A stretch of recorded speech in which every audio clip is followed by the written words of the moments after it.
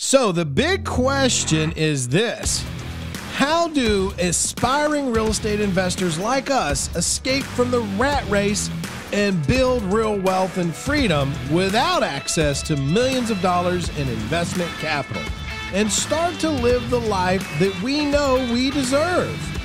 This is the question, and this podcast will give you the answer. My name is Zack Childress, and welcome to Real Estate Investing Talk Show. So, our discussion today is really about what that looks like working directly with an agent and what it is they look for and what it is you should be looking for um, when you're out there looking for an agent. Or, one of the things I definitely want to talk to you about is when an investor wears both hats an mm-hmm. investor hat and an agent hat and what should they be looking for when it comes to hanging their license? And so i want to talk about that as well sure. but i want to introduce and let tim introduce himself really. But tim tell him who you are tell him what you do how long you've been doing it and so forth. Sure. Uh, my name is tim knox uh, born and raised here in madison alabama. Uh, i am a uh, I guess you could call a serial entrepreneur. I've had my own business for about 30 years here, and uh, for the last couple of years, that business has been real estate. Yeah. And so, uh, with a partner, we started a company called Revolved Realty. Uh, we cover all of North Alabama. We are a flat fee listing company. Flat and fee. Flat fee listing company.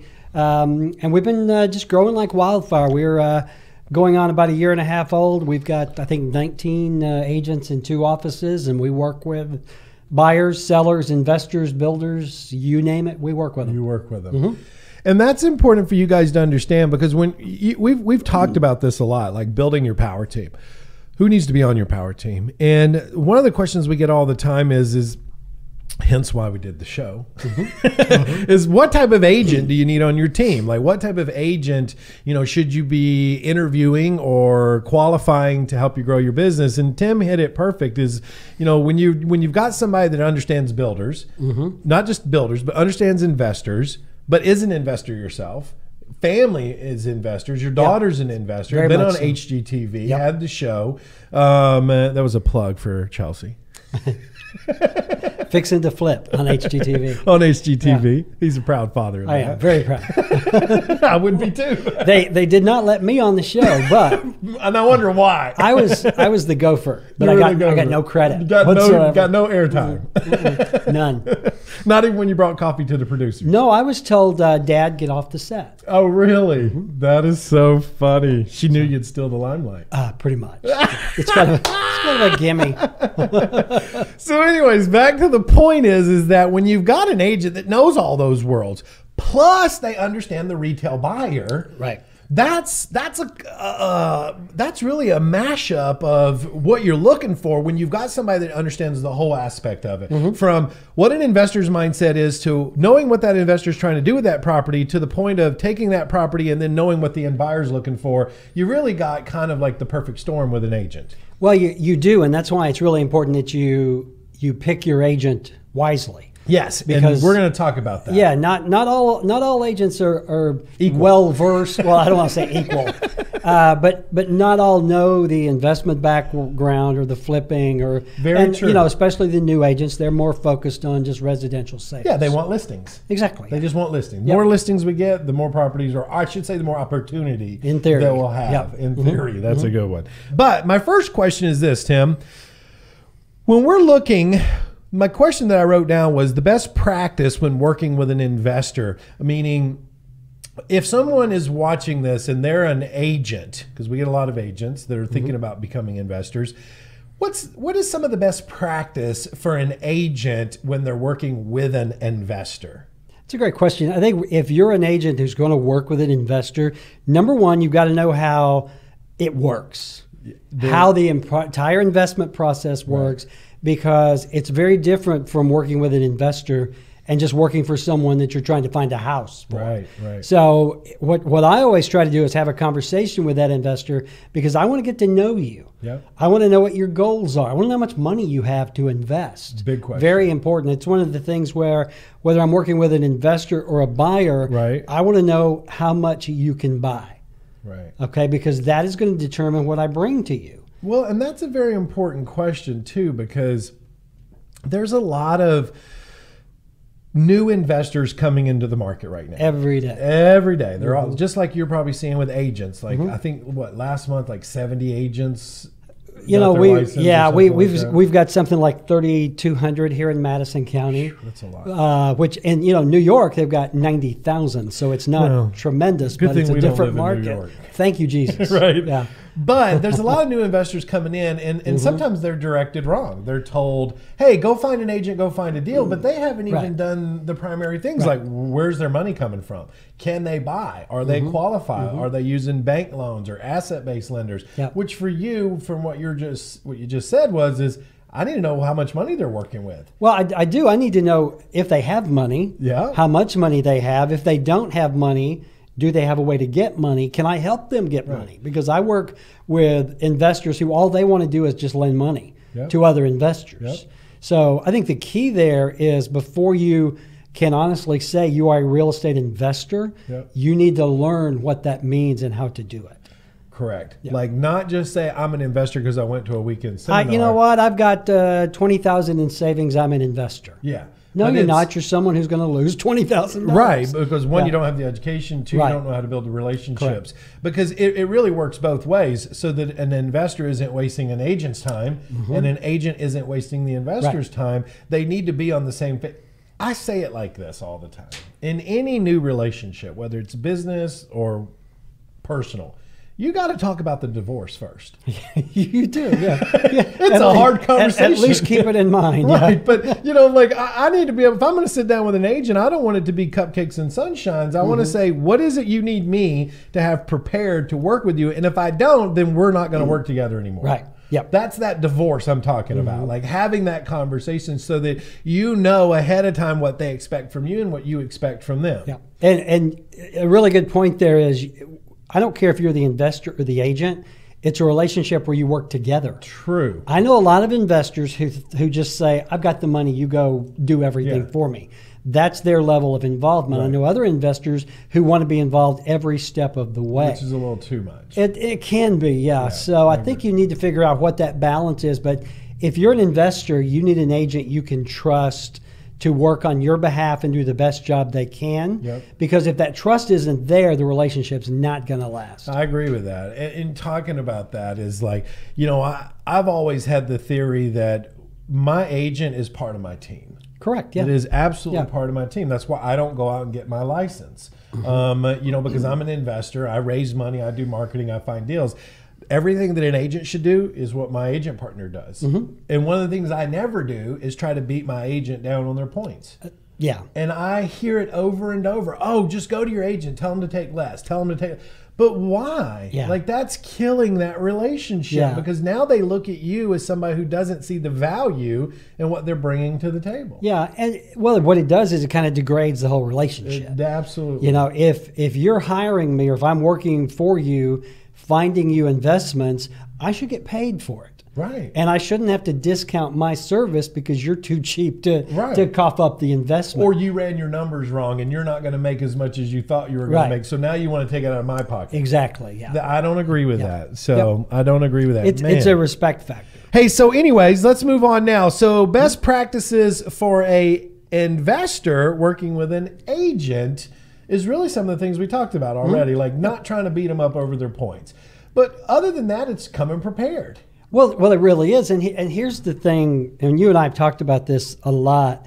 Is if I'm going to represent you, if I'm going to work for you, again, I need to know you. Yep. I need to know your goals. I need to know what you've got in your back pocket that I've got to work with, and then I've got to go find deals that fit that mold. Right. I should not be bringing you deals that are outside of your comfort zone, your finances, what have you. Yep. You know, if you tell me, look, I'm only interested in single family, fix and flips. This if I'm range, in this price range, if I start bringing you multifamily or apartments, You're wasting time. I'm wasting your time. Basically, if your agent does that, again, it goes back to respect. Yep. They're not respecting you; they just want that commission. Yes, and they're just trying to throw anything. at you. Anything that you'll buy. And that also goes back to the, their their level, the investors' level of understanding what they can do. I call Mm-hmm. it getting realistic, right? Because sometimes I'll even my students, I'll see them bring on to the the live show, bring questions and like. hey, my agent brought me this 1.6 million dollar deal. It's worth 2.5 and it's not selling. Well, it's not worth 1.6 Right, yeah. if it's Yeah, not selling. yeah, number, numbers are screwed there a But little then bit. my Yeah. very next question is: is okay. Well, let's talk about this. Can you buy a 1.6 million dollar property? Do you have the resources? Do you have the connections? Do you have the network? Do you have the contractors that can? Because a contractor to remodel a 1.6 million dollar house is much different than a contractor to remodel a 125 thousand It dollar. is. Yeah. And and then they start thinking they're like, oh, I didn't think. But there again, that goes back Yeah. to the agent and the investor mm-hmm. not knowing where they stand. And see, here's a mistake a lot of I've seen new investors make is they rely too much on the agent. ah, I agree. and they mm-hmm. they believe whatever that agent tells them is gospel and a lot of times it's not the agent being unscrupulous or, or what Yeah. have you it is a lack of knowledge on both parts I agree. I can I tell you how many times I've seen new investors and new agents team up and it's it's disaster because there's no there's no experience there's no real worldly Right. stuff going on there experience Yeah. great topic right there because we talk about it all the time in the education side right Mm-hmm. like when you're going to learn you need to be learning whether that's w- learning from an agent or learning from someone who's been investing. Mm-hmm. who's got time in who's got history in who's got longevity right? Right. um, so that's a good one. All right let's move on to the next question. What should an investor be looking for when they're out there whether our market or any market across the us what should they be looking for when they're trying to find an agent to be part of their team Another great question. You do this. You're really good at this. this is really good. I, I think again, it goes back to number one is compatibility. How are we going to get along? You and I would work together very well because our personalities are very well, are very uh, uh, in sync, if you will. If you're an investor who has a very guarded approach. You're very cautious. You do not want this aggressive dynamo agent, Right. Uh, because it's just a, a bad match. well yeah So- you would you'd be questioning it like well, well, you would, and again, you look at the motives on on each Right. party. But to me, it's about compatibility. It's about making sure number one, the personalities sync, the goals sync, the financials sync. Um, you know, th- there's an agent or two or three or five on every street corner. that's so true Picking one that is best for you Yep. is really, and that's why you see most investors they have got the same agent they've used forever, Uh, yeah. and and that's because you build that relationship, you and they're almost train each other well, you do. And there is that initial spark. And I think the one thing that I'm an old entrepreneur, so whenever I approach a relationship like this, it's really from not only a personal standpoint, but a business standpoint. right How are we going to get along as business partners? Yeah, because that's that's a very big, Yeah. because you introduce money into any situation and any relationship, it changes the dynamic. that's true So if you are an investor looking for a realtor, interview them. Yeah. Just like you would interview anyone else to represent you or for a job, what what is their experience? Uh, have they done investing on their own? What kind of investment deals have they done? You know, everybody has to start somewhere, Right. but you know, everybody doesn't want you to be the first deal. You know what I mean? But uh, but again, it goes into what's that experience, what's that trust. It's better if the agent has experience as an investor himself, and vice versa. True. You don't see that a lot, Well, but because it they is know better. Mm-hmm. they know what to look for.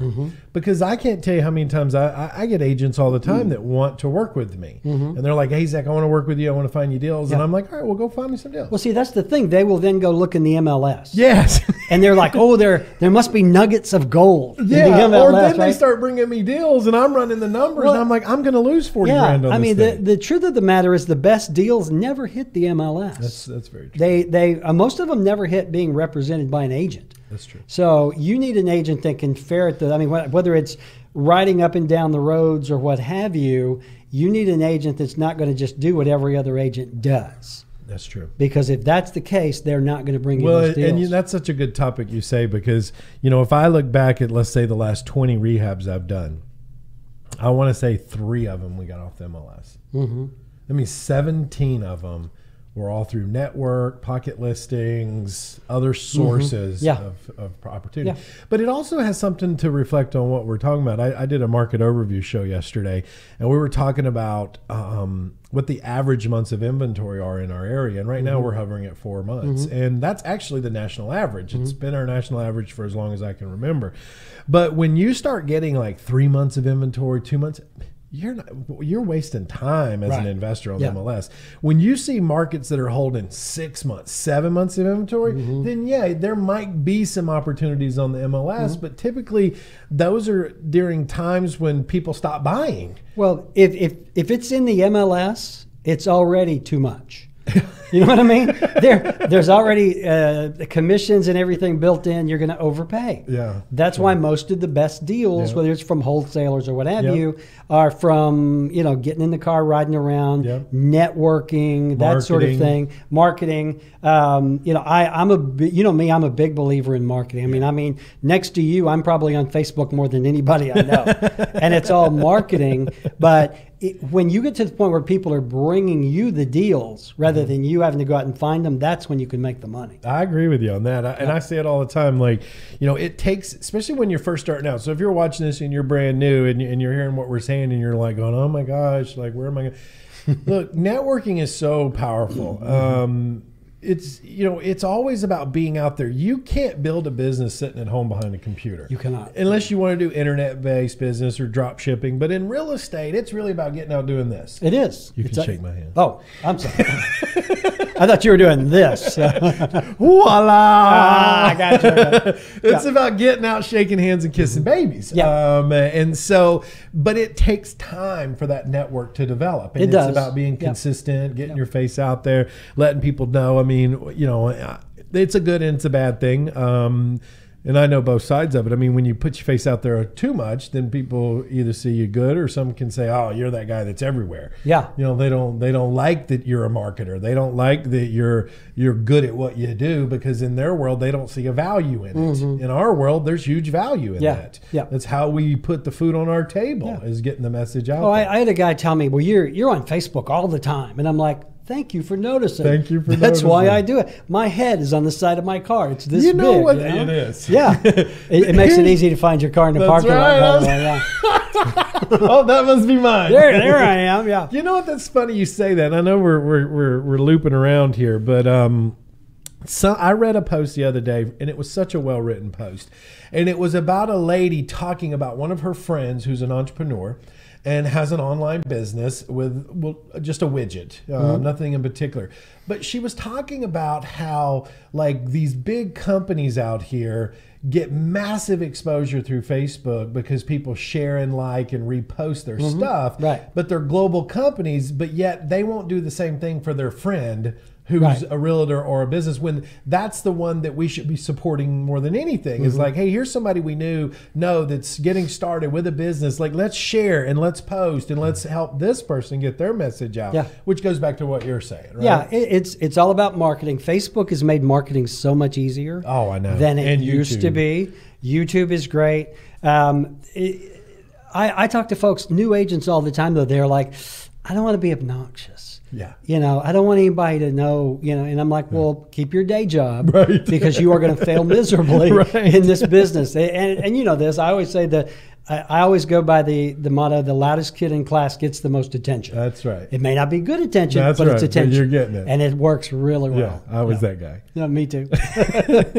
um, talking about that, it's like um, the squeaky wheel, you know, gets the oil. But let's talk about something else. Okay. And, and this might be a touchy subject for some agents out there, but I'm going to throw it out there. Is um, what bothers you the most about investors? Like when an investor is saying, "Hey Tim, hey Tim, hey Tim, I'm an investor. I'm going to buy some deals. Hey Tim, hey Tim," what is it that bothers you the most when that investor comes, or we'll call him an investor, and you don't know them, and they're trying to get you to work with them. What bothers you the most? Or maybe even an investor that you know out there. You don't have to say any names. Uh, no, I won't. yeah, the, the thing that bothers me the most, and we've already talked about this, is the the lack of preparedness. Okay. You know, when I have someone who wants to meet with me to talk about being an investor, and the very first question out of their mouth is, "Can you can you show me how to get some money? Can you show me how to use other people's money, the OPM?" They're coming to you. they're saying, coming to me, me money. going and here's and here's their thinking tim if you will go out or teach me how to use other people's money to finance these deals i'll let you be the agent Oh my gosh. i get that more than more so that's that's the big thing again it goes back to people who they they see a TV show or they watch a seminar or whatever, and they want to be an agent. Yeah. And the first thing they do is realize, okay, I've got to use other people's money, which should be really easy because I see all these guys on the internet doing it. So let me tell you what bothers me the most. Okay. A lot of things. There's a whole list. Oh, It is a whole list Yeah, of my God. I got a few pet peeves out there. but here's what bothers me the most about investors working with agents because, like you said, I appreciate my agents, uh, and I have a- quite a not. I have probably a core of agents I work with, but I have one primary agent, and this is something that always bothers me. I'm gonna talk about two things. Number one is this: is that when someone goes out and, and finds an agent, they need to understand if you're working with that agent and you're saying, "Look, set up all these automated searches on the MLS for me. These are the areas I want to buy mm-hmm. in. This is the price range. This is what I'm looking for." That's your agent. You can't go to five other agents and say, "Oh yeah, find stuff on the MLS for me," because Yeah. you already have an agent Yep. doing that. And so I, it bothers me, and I say, "Look, you've got to cultivate that with that agent. You got to build that relationship. You got to put some time into Right. it to grow it." Um, I, one of the guys I work with real close, I've been working with him for almost ten years. But when we first started out, we butted heads. You know, because I was bringing some very creative stuff to the table, and um, and he just wasn't too sure about it. But I work with so many agents in this market. But my conversation with them is this look, I already have a primary agent. I don't need you searching the MLS for me. But if you get something that needs to sell quickly, call me before you list it. Right. That's that relationship, Yep. right? Mm-hmm. So you can have as many of them as you want, but don't have five agents all doing the same searches Yeah. on MLS for you. Yeah. It kills the relationship. The second thing that bothers me with investors working with agents is just like what we talked about earlier, how they look at them. They don't look at them as an asset or a team. They look at them as an expense and how can I mm-hmm. cut it or how can I get them out of this or how is this or how is that? Or one that even gets me more than anything is when they want to sell a property quickly. There's only so much that agent can do when True. it comes to marketing based on the Department of Real Estate and what they'll let them do. Right. Um, and so if you want all this extra stuff, you need to help them. You need to get out there and do it. Like Yep. I can put bandit signs all over a market where my agent can't do that. Right. Right. Well, get out there and help that agent sell the property. And so those are some of my things, and I've got more. Yeah, and, and I agree. Every, every one of those are, are valid points. And again, it comes back to that relationship, working together, having one common goal. Again, it really is a partnership. it is. But if you see it as if I'm the agent and I see you just as a source of, of income for me, and you're the investor and you see me as just Joe Schmo out trying An to find you property, yeah, an expense. It's in the long term. There is no long term. It's not going to work out. Yeah.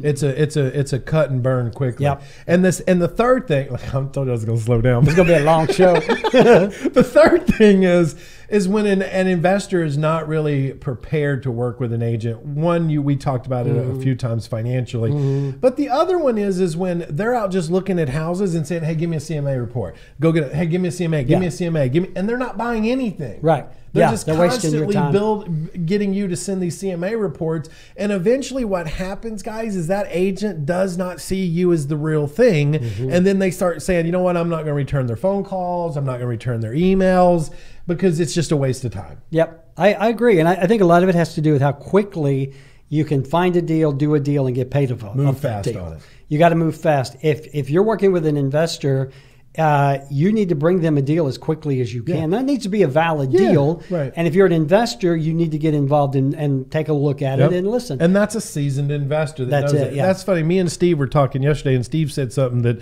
I took it as a compliment because he said, "You know, one thing I've noticed working with you, Zack, over the years is if I bring you something and you want it, you don't wait. You know, I'll take this, get the contract together. Mm-hmm. Yep. Like he's like Zack, within three minutes, I know whether or not you're going to do the deal or not. yep. So listen, let's talk about this real quick. Explain to us what your brokerage really is when you say a flat fee broker. Talk more about that because here's why. In in a lot of the investor community, when we hear flat fee, we think hundred dollars. They're going to stick it on the MLS. Stick a sign. then- Yeah, that's yeah, it. yeah. It's it's very different. That that basically is uh, not really a flat fee. It is just a really cheap discount, two hundred dollar entry in the the MLS. MLS. Yeah. What what we do is uh, typically when you have a real estate deal, you you're going to do a six percent commission. 3% traditionally goes to whoever brings the buyer, 3% traditionally goes to whoever lists that property. Right. What we do is we, we can't do anything about the 3% on the buyer side. Right. But rather than charging 3% to list, we do a flat fee that is based on the sales price of the home. And so we're typically going to save our clients anywhere from 1 to 1.5%. And we do it without sacrificing service. No, we, you guys are- We, we pride ourselves on this concierge level service. Yes. That fee includes photographs, drones, video, signage, lock boxes, MLS, 300 different websites, Right. Multiple open houses, and that's that's one of the reasons why we've been so successful You're growing like in such a short amount of time. Yeah. Is the flat fee listing gets us in the door, but then everything we do to back that up Closes the We deal. just knock it out of the park. Yeah. Yeah, and you guys have some stellar agents working for you. You know what? We've we're we're about a, a year and a half in, and we've got I think nine agents in Madison, and we've got nine or ten in Athens. And even though they're new, ag- we do all of our own in-house training and support. That's the one thing that that sets us apart from the box companies, the Right. big boxes. When we have an agent come on, if they're a new agent, we're going to train the hell out of them, Right. and we're going to teach them to do what we do. We're very low pressure Yeah. kind of sale. And so, you know, I've got a, uh, uh, uh, Amy Patterson is one of my new agents. She did, uh, I think, three deals her first month in. Oh wow. You know, and it's just training and support, and it's all ongoing. And Oh, and here's the thing. I'm sure you guys are going to get a lot more people coming over. we've got a lot of interest. Because I mean, everywhere I turn, I'm seeing you guys. I'm seeing it out there. I'm seeing. We're a little going on. obnoxious. It's okay though. It's It's, okay. marketing. It you know, I was yeah. taught a long time ago. You market until two things happen. They either say yes or they say leave me alone. well, that's it. Yeah. Well, there, they, in my former businesses, I always went by, you know, marketing drives sales. Yes. Sales does not drive marketing. No. So the more you market, Yes. the easier it is to sell. Right. And that's what we do. So, talking about working with an agency like you guys, your brokerage or the flat fee, that actually Mm-hmm. is very beneficial to an investor because, like you said, they're saving one to one and a half percent typically on the resale On the listing, on yeah. the listing of the resale. So that if, if somebody's looking at a deal and it's tight, and let's say it's two hundred thousand dollars, well, one and a half percent, that you're talking three grand. Mm-hmm. Yeah. You're talking three grand. So if they were like, if their bud, or if their minimum is a ten thousand dollar profit, and they're looking at a deal that's only giving them eight, if they go to a brokerage like you guys, well, it gives them the bump they need to get the deal done. Yeah, it, it does, and, and we work with with all kinds of investors on all levels. And what we try to do is we we can customize our service based on the client and the relationship we have that client, Or even volume. or even volume. If I've got a uh, an investor client that we've done ten deals with, Yeah. They're going to get a buddy deal. I mean, it's just And- the way the world think works. That's how it should work. I agree totally. But yeah. you know, the big boxes, as I'll say, they don't do it. They that don't way. do it that way. No. Here's the other thing. Not only I think what you guys are doing amazing as a flat fee brokerage, but you're helping the community grow too because the money homeowners are saving on Mm-hmm. a sale, they could pay off debt or have more money down Mm-hmm. on another property or put a kid through school. Well, maybe not put them through school, but pay for a couple of months. Right, like help get them going. Yeah, So there's yeah. Mm-hmm. like this whole give back aspect of that type There, there really is, and, a lot of that has to do with our founder, Zach Walker, who is from from Athens. He's a very hometown conscientious kind of guy, and he started the company uh, as a way of giving back to his clients. Awesome. And um, you know. What, what we try to do is we we put our clients first, we put our agents second, and then we'll put the brokerage third.